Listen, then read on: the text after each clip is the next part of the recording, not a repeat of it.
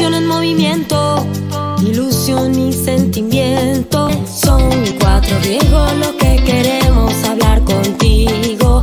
Ahogamientos en nuestros viales, incendio forestal y de campo,